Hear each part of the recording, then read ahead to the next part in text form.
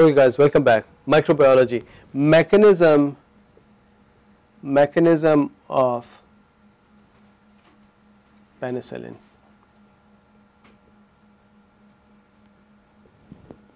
Mechanism of penicillin. This is not pharmacology of penicillin. Just wanted to explain how the penicillin acts and the reason for doing that is that I just finished the last two lectures in which we talked about the cell wall structure and the mechanism is very pertinent to that structure discussion. So you can actually combine these two and understand it. So let's talk about gram positive and gram negative. What I'm going to do is I'm going to draw gram positive here, the cell wall and gram negative cell wall here. Then we'll put penicillin on it and see what happens to these bacterias. So now let us say this is the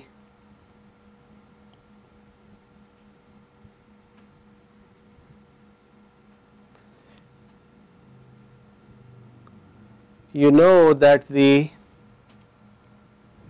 that the peptidoglycan layer so if I can go here and make the cell wall for our reference for bacterial cell membranes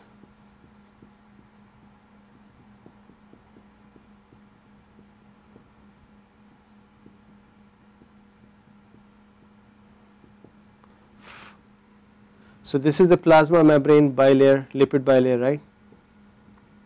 This is the internal most membrane. Outside this, in the gram negative, three layers of peptidoglycans, in gram positive, up to 60 layers of peptidoglycans. And the peptidoglycans are supposed to have been um, cross-linked with each other through their peptide. So this is peptidoglycan. So it has a glycan part which are sugars and then it has peptide part which are peptido. So the peptide parts are cross-linked. So we are going to talk about how that cross-linking occurs and how penicillin works. Penicillin's function is to remove or to block these cross links and by that disrupt the peptidoglycan layer, peptidoglycan layer and ultimately cause bacteria to break. Now on the gram negative side you have, so let us just make it this way, this is positive side, this is gram negative bacteria. On a gram negative, on a gram positive bacteria lots of more peptidoglycan layers, on the gram negative bacteria this is the periplasmic space and above that is the another lipid bilayer with lipopolysaccharides.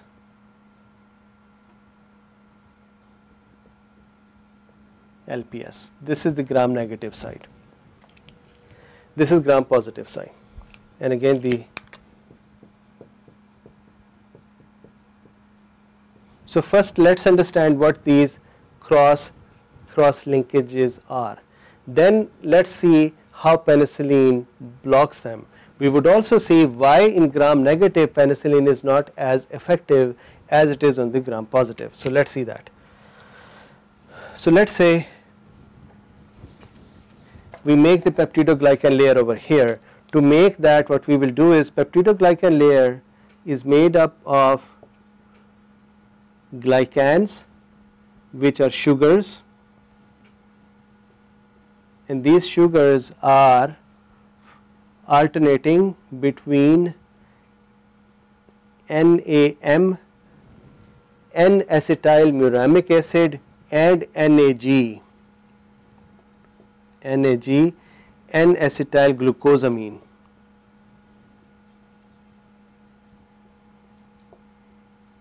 N-acetyl N-acetyl muramic acid and N-acetyl glucosamine.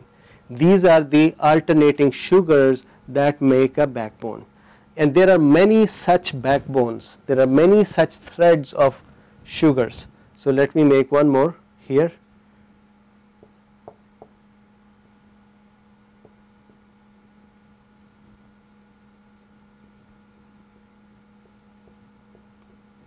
So again what do we got here NAG, NAM, NAG, NAM.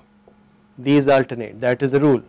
So now what happens is with every NAM there are tetrapeptides attached 4 amino acids are attached.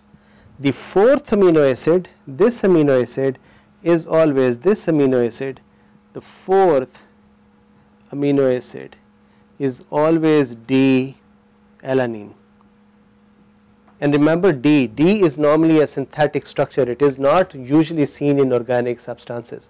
Organic substances normally are levo, but this is one place where you would see D, alanine or dextrose.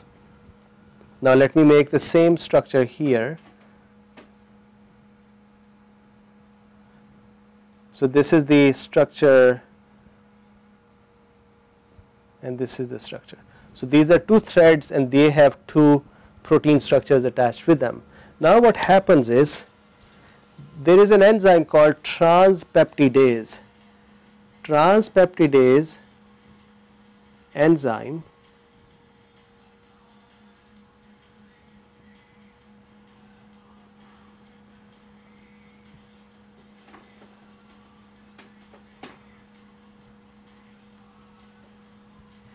transpeptidase enzyme what it does is it picks up two protein chains that are side by side and creates a cross link between the fourth amino acid and the third amino acid. So if I make them here 1, 2, 3, 4 and 1, 2, 3, 4. So this is let us say NAG, this is NAM, this is another NAM what it would do is it would take the fourth amino acid and connect it to the third. This function is done by the transpeptidase enzyme. There are two types of cross linkages you would see. In E. coli for example, the linkage will be that NAM, NAG, NAM when they combine with the other, so let us make another NAM, I am making it slightly moved.